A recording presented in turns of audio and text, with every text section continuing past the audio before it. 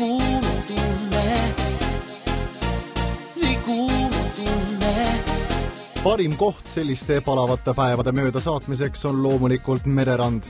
värske mereõhk ja jahutav vesi aitavad kenasti kuuma päeva üle elada.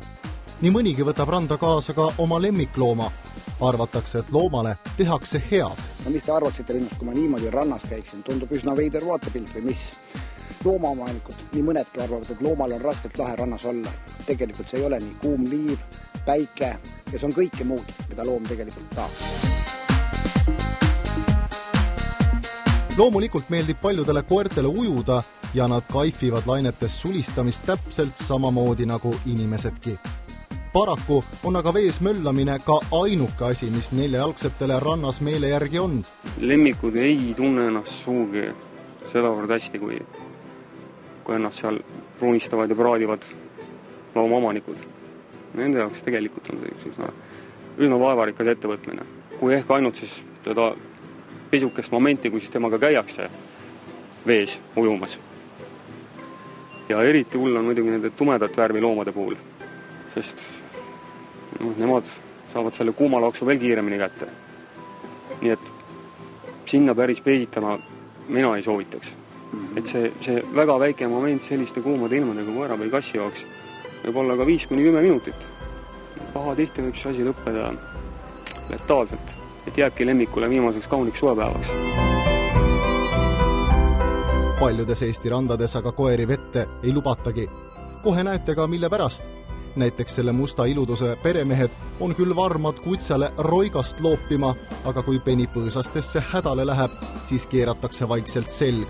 Teised astugu või sisse või heitku sinna päevitama, matsistunud koeraomanikke see ei huvita nii mõnedki arvavad, et autos ei juhtu loomaga midagi. jäetakse aken praokile ja minnakse ujuma ja arvatakse, et kõik on korras. tegelikult ei ole. hetkega on temperatuur kuuskümmend, seitsekümmend kraadi siin sees. armatuur on nii tuline, et siin peal võib mune praadida. kui te ei usu, tehke üks järgmine katse. pange selga enda mõnusad pehmed mm, talveriided, istuge autosse, pange aknad kinni ja vaadake, kaua vastu peate ja mis tunne võib loomal olla. ennem seda aga tehke ära kindlasti testament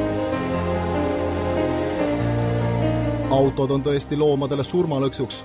loomaarstid on üsna palju selliste juhtumitega kokku puutunud, kus oma lemmikloom peaaegu, et autos ära grillitakse. loomaga ollakse, ollakse sageli reisil, sõidetakse maakodusse, no tehakse väike metsapeatus, unustatakse ennast sinna maasikaid ja mustikaid korjama, aknad on kinni, tullakse tagasi, leitakse, et lemmik on ka kenasti keras seal ja sinna ta jääbki. no tujud arvavad sageli, et, et kui aken on lahti tehtud ja veel parem veel, kui mõlemalt poolt või kui see katuseluuk on lahti ja, ja ja lemmik oma peanuppu sealt välja torkab, et et nüüd on nagu kõik tingimused täidetud, et kuumarabandusest oleme nüüd pääsenud. kasu ei ole küll ei suuremal ega vähemal määral. ehk küll ajutiselt, aga, aga väga ohtlik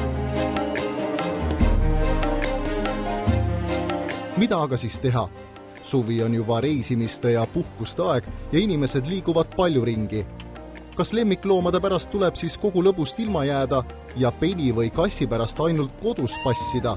mõistlik oleks oma reisimarsruut läbi mõelda ja, ja võimalusel alustada seda reisimist kas varahommikul või hilja õhtul.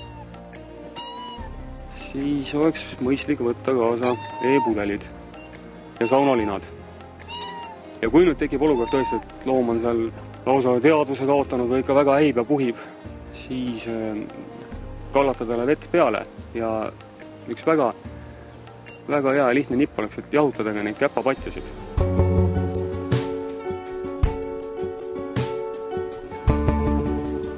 tihti lõpevad kuumarabandused loomade jaoks väga halvasti.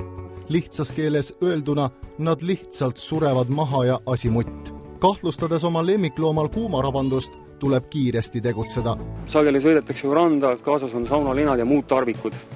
võtta seesama, mille peal ise lebati või lebatakse, panna see loomale peale ja kallata ta veega üle.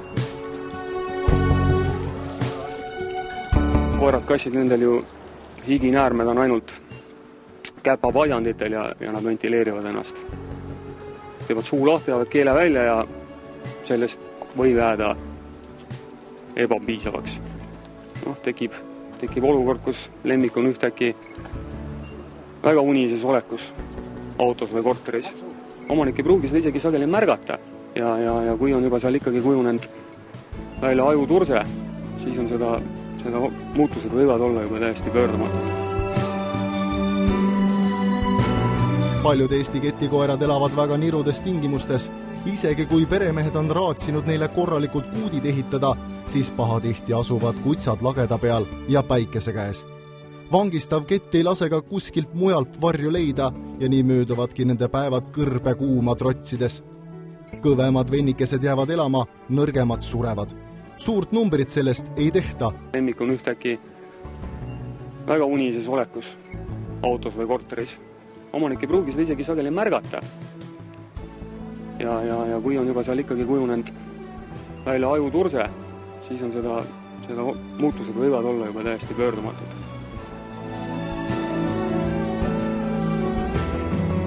suvi on tänavu tõesti kuum, ometigi ei tähenda see seda, et peaksime tänu palavusele hoolimatuteks muutuma. enamasti on loomad ju otseselt või kaudselt meiega seotud ja sõltuvad just meie tegemistest või tegemata jätmistest. nii et kuudid varju, värske vesi ette ja lemmikute autosse jätmine unustage kohe kindlasti ära